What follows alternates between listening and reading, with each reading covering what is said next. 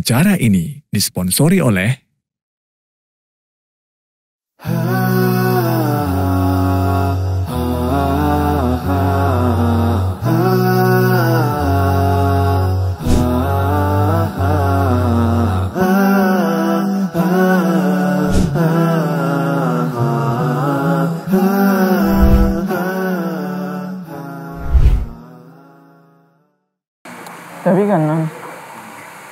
perkataan ini tuh seperti apa? Seperti yang tadi itu sedekah gini gini gini gini. Orang ngomongnya mungkin enak gitu ya, tapi kan kayak sahabat itu bisa menjedekahkan seluruh hartanya yang baru dia dapat atau setengah hartanya. Pasti kan berat kali gitu untuk di laki.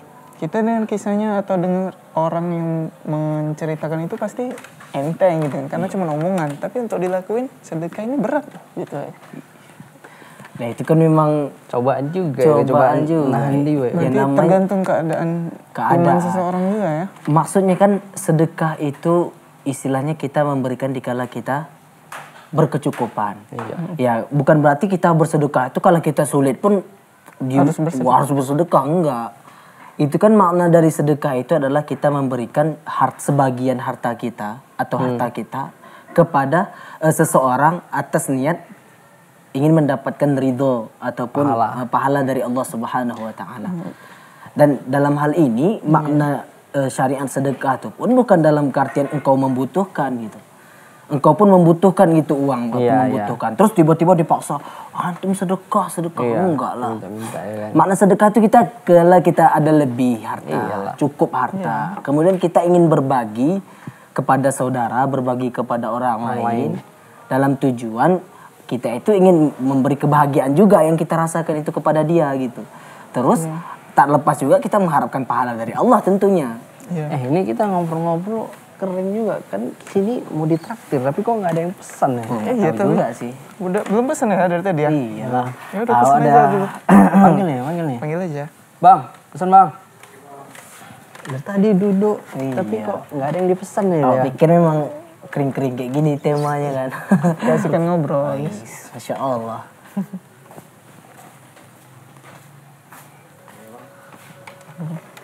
Ah. Pesan yang mahalnya terus. Ih, boleh nih. Pilih boleh. aja, pilih aja. Ih, bebas nih. Iya, bebas. Iya. Nanti yang jadi rugi nih. Cukup, cukup. Nanti cuci piring. Ah, Enggak, enggak. red velvet satu. Panas satu dingin bang? Dingin. Dingin awak latte vanilla ya. Latte vanilla. Sama pemilih nggak? Sangernya satu bang. Sangir abang panas, Eh, dingin. dingin. Abang dingin juga. Iya. Latte vanilla tadi bang. Teh. Iya. Insya Allah. Bang. Ini bang, makasih bang ya. Yuk. Yuk. kan enak kan sih kita. Iya, nanti agak ada sedikit Rasa-rasanya Nah, gitu kan. gitu ya Insya kan. Allah. biar agak basah sedikit itu gitu ya. dia Bang Billy. Jadi kan nggak harus memaksakan kita untuk bersedekah. Gitu. Lihat juga kondisi kita lah.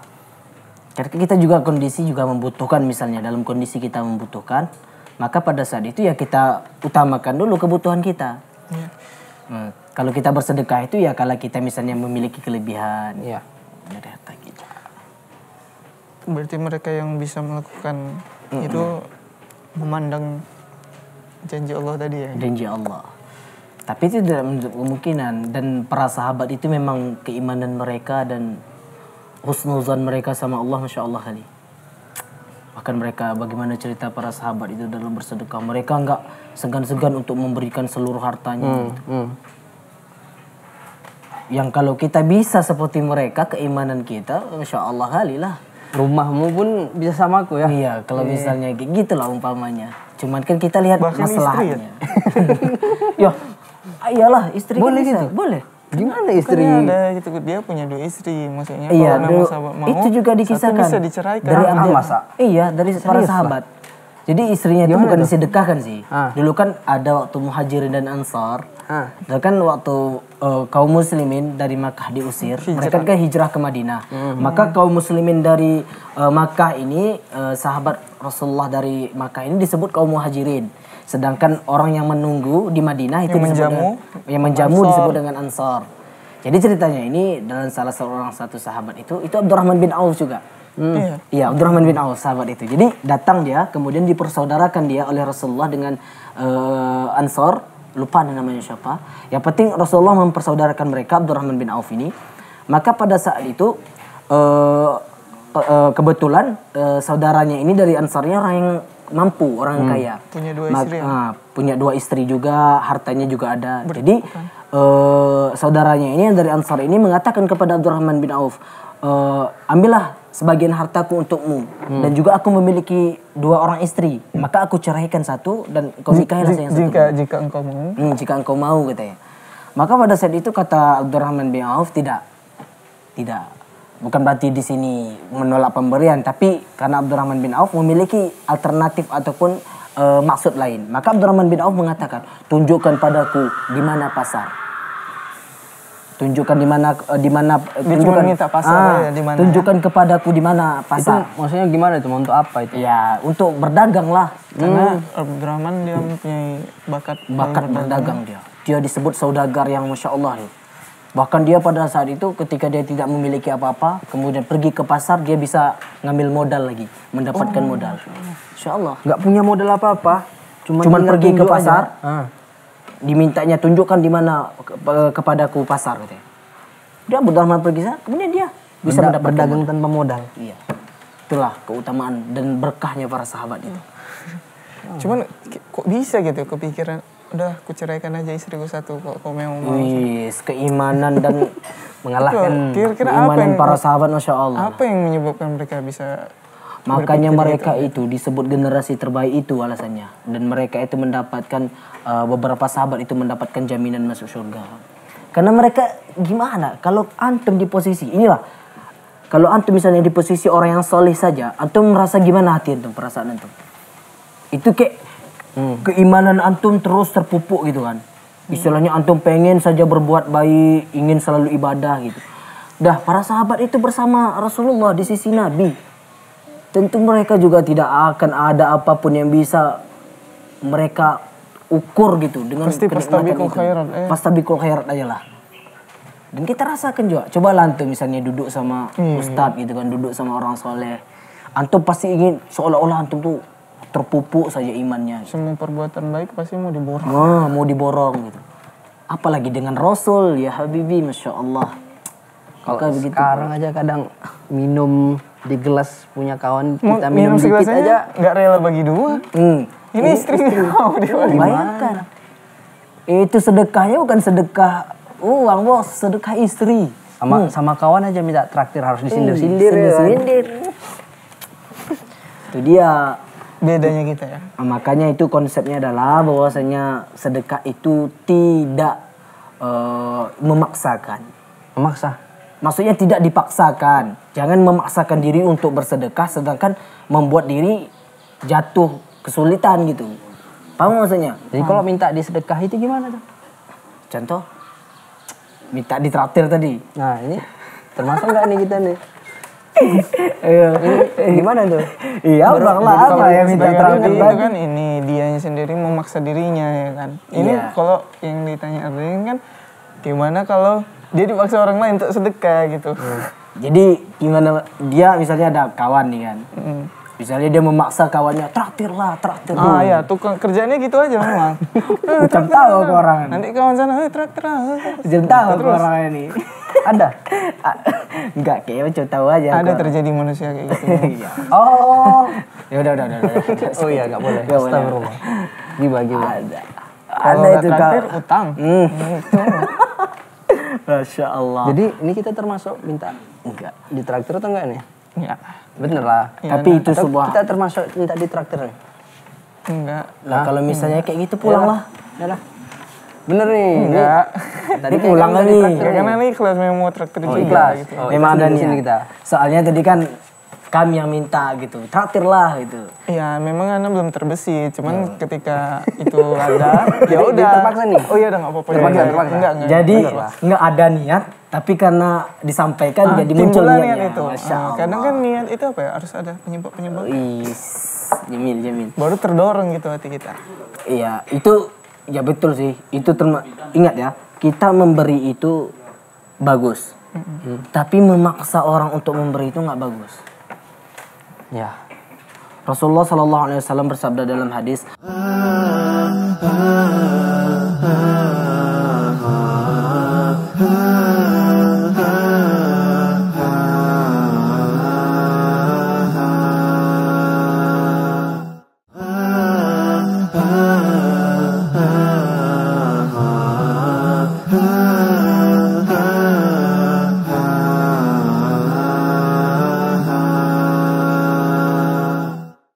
Rasulullah Shallallahu Alaihi Wasallam bersabda dalam hadis, "Ma yazalur rajul yas'alun nas hatta ya'tiya yaumul qiyamah laisa fi wajhihi muz'atun lahmi." Artinya itu eh akan datang gitu. Jika ada seseorang lelaki ataupun misalnya sohib dengan sohib, teman sesama teman. Lalu dia sering meminta gitu kepada temannya, meminta kepada saudaranya. Hmm, kan ada berarti. Semua misalnya dia itu sering meminta. Ini sama ini fulan dia minta. Sama si fulan dengan minta. Kan makna meminta-minta ini kan istilahnya macam lah meminta di traktir ini sama. Iya, traktir lah traktir lah. Mirip karakter. dia nggak mau dia nggak mau tuh uangnya keluar gitu. Dia nggak mau uangnya Harus keluar. dipaksa dulu, harus dipaksa Ah, dia dulu. dipaksa orang gitu. Kau kan baru kayak gini traktir lah. Kau kan baru cair traktir lah gitu kan.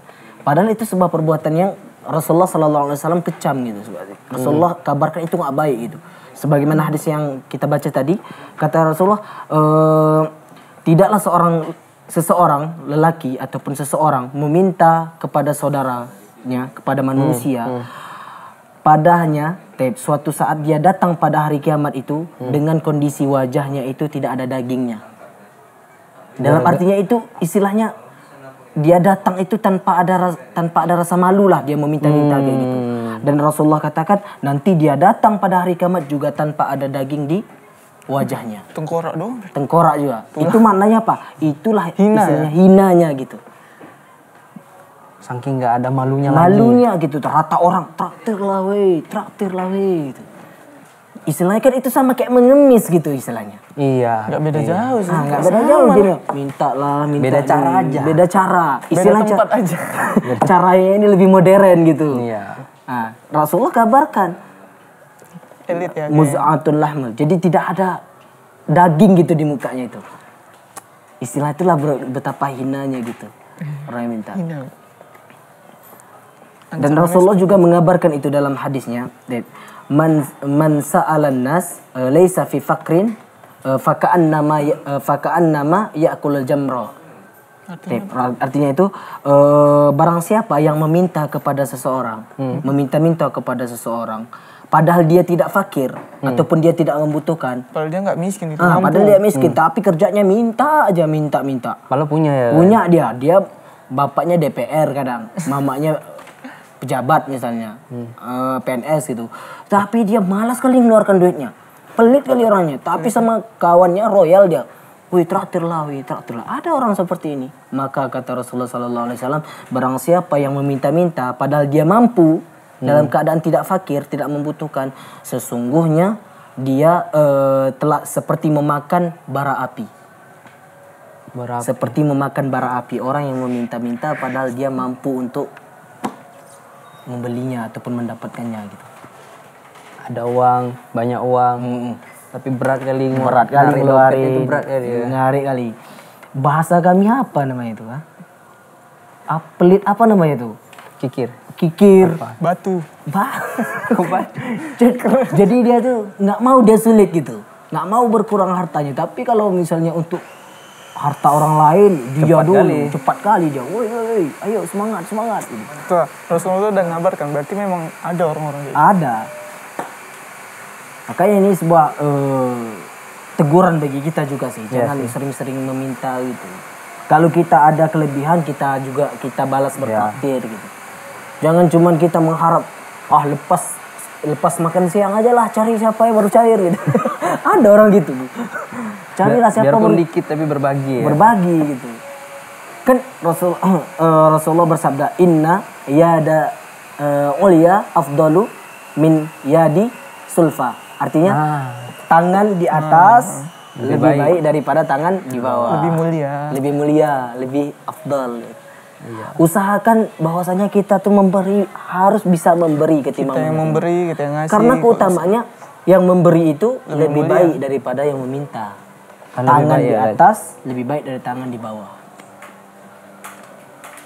Ya itu. Maka usahakan kita itu sering memberi, sering memberi. Tak sedekah tadi juga bukan bentuk harta Iya. aja ya kan. Bukan bentuk harta tangan juga di atas lebih mulia daripada tangan di bawah. tangan di samping. Mau belok nih. Sen kanan belok kiri lah. itu ya intinya. Dah, haus pula nih, nggak datang nih.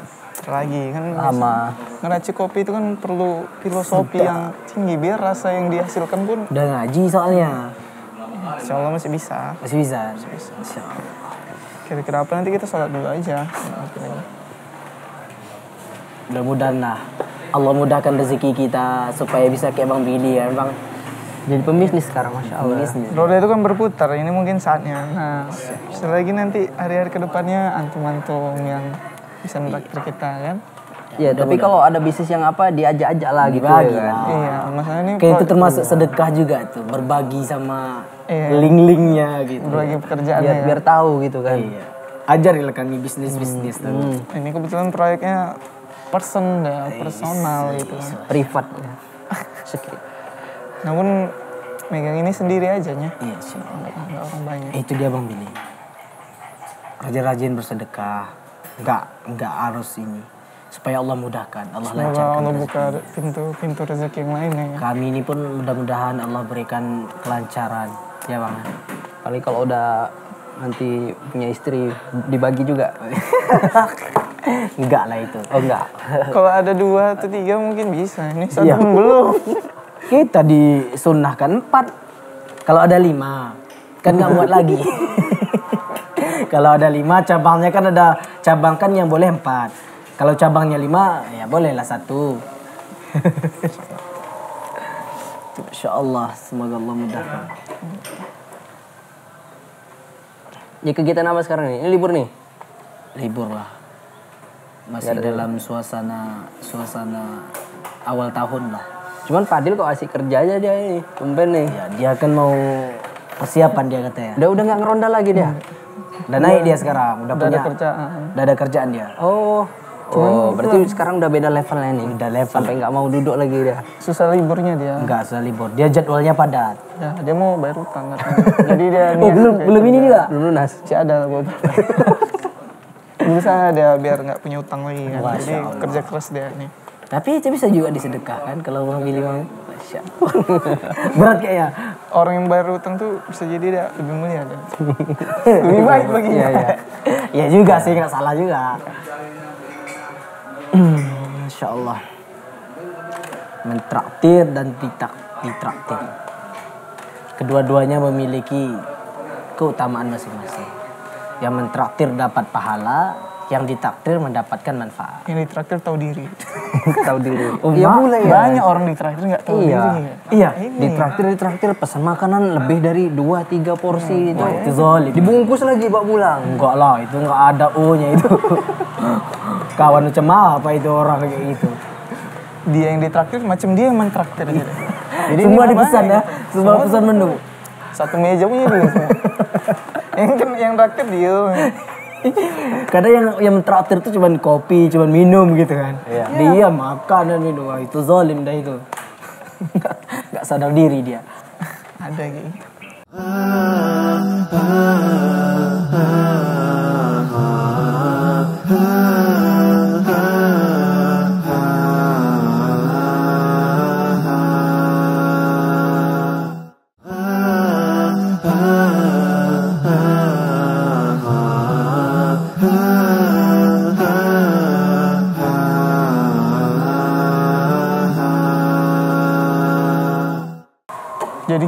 Kalau orang yang terpaksa jadi yang mentraktir? Ya, dia dapat dapat pahala nggak ya misalnya udah dia dipaksa kan terus dia tadinya nggak nih Wih, eh dia Masya taksir. Allah.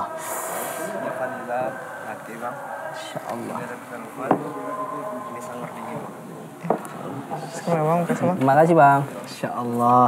Hmm. Coba di apa dulu? iya silakan silakan izin dulu Iya, lah, iya, iya. izin dulu lah. Beliau, Biasa beliau yang mempersilahkan kita.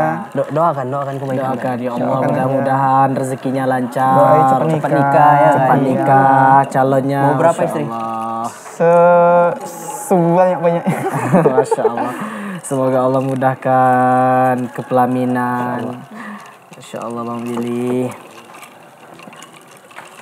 Bismillah.